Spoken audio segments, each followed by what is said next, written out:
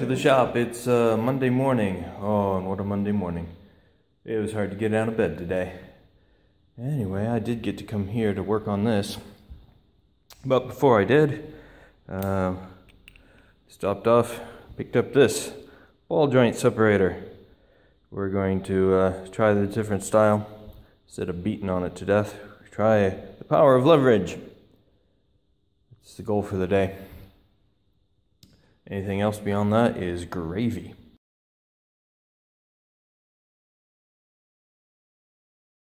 Okay, so I've gotten several of these off already and thought I'd take the chance to show you how this new fancy expensive tool works. So you put it in here and it presses down between that and the top of the bolt that hold the, held the crown nut um, or castellated nut, that's the other word and uh, tighten up the screw and it pushes it until it pops and it scares the hell out of you and it's separated. So let's uh, tighten her up. Have on our, our safety glasses, our blast shield, and just slowly tighten it up.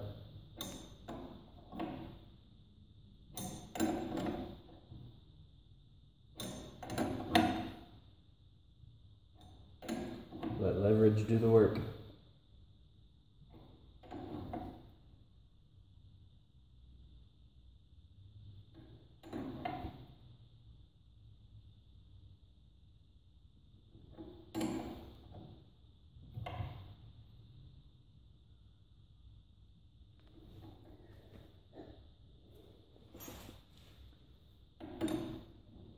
Always worry I'm going to the tool right when it's about to pop. Certainly don't want to do that. There it goes.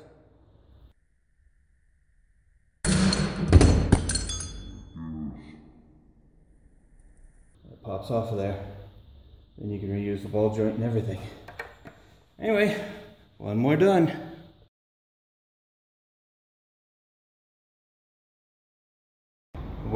A little bit after lunchtime, and I did it.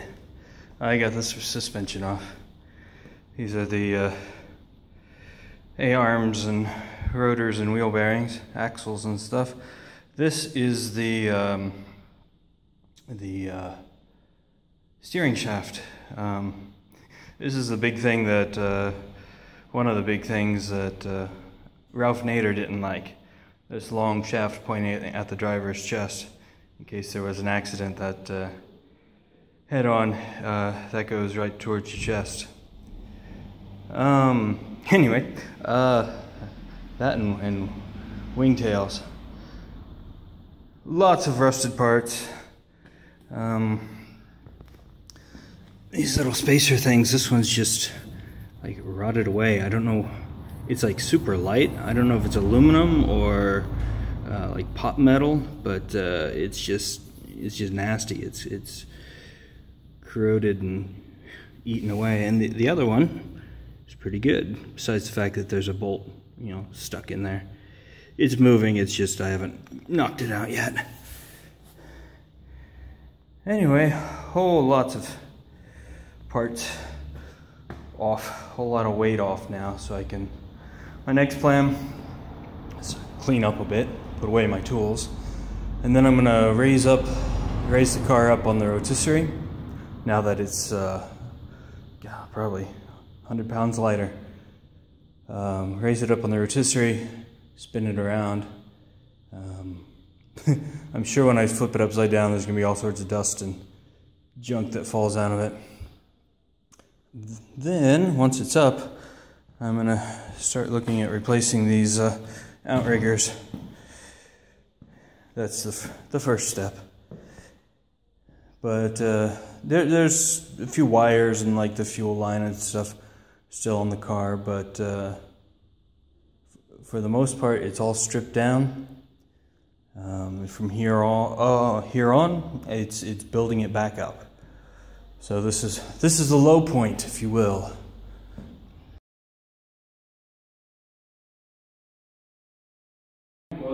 Well, I got the rotisserie done. Car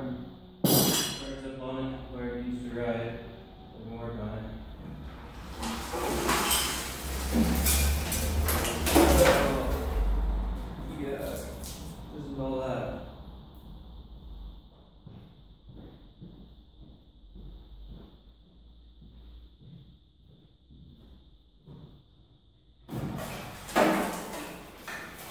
First time it's been upside down and since it was made.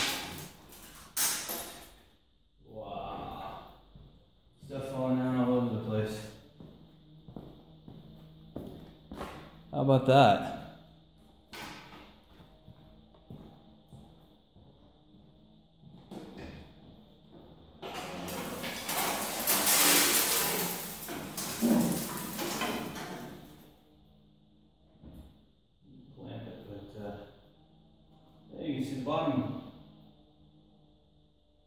uh, it smells like gas. I guess there's still some gas in the fuel line.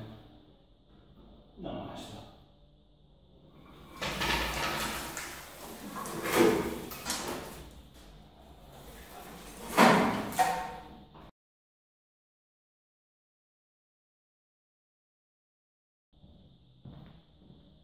Found a marble fell out of it. Wonder where that was hiding. There's not many places to hide. Anyway, as you can see, that's gonna be a lot easier to access where I need to be to do what I need to do. Especially since the lower 20% is all rotted away. This gets it up to a good height. You can flip it around so I can weld, you know, straight up and down, not overhead. Cool, it worked.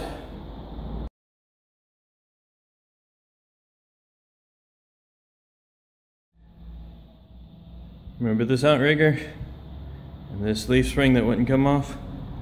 I'm gonna cut it off. This is the replacement for it.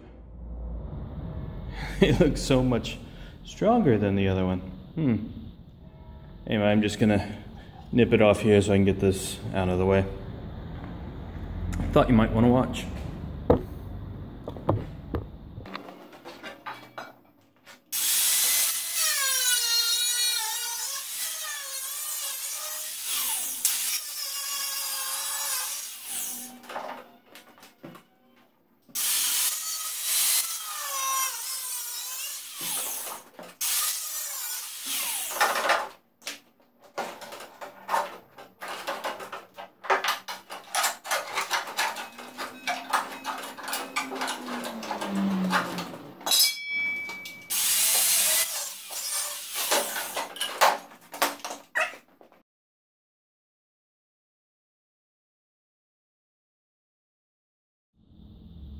Well, it's the end of the day.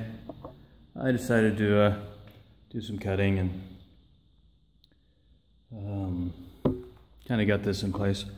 I marked it down here with tape, 25 centimeters from, from the edge here, so I know it goes back on. There is rust underneath. It just seems to be where inside the, the outrigger, so I'm going to cut that out tomorrow. I'm also going to replace this because there was rust in there. Clean this all up, weld this on, fill a patch here. Um, but I got to go buy some sheet steel. Luckily the hardware store has it. At least last time I checked.